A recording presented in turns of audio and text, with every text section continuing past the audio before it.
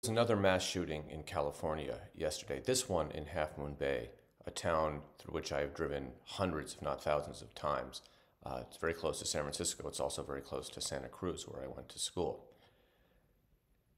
There's nothing really new to say about this. We all know what the problem is. We all know that one political party in the United States has decided that contributions from gun manufacturers and worshiping at some weird right wing cult is more important than, than saving lives. But one thing that really strikes me about this latest shooting is just how numb we, and by we, I kind of mean I have become of this. This was very close to home, literally. I mean, I can ride my bike from uh, my mother's house in San Francisco to where the shooting occurred in maybe less than an hour.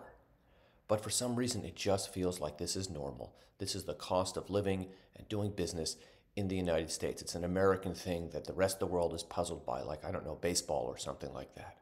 And it is just tragic, and it's not going to change as long as we decide that the right to own whatever kind of gun you want is more important than saving American lives.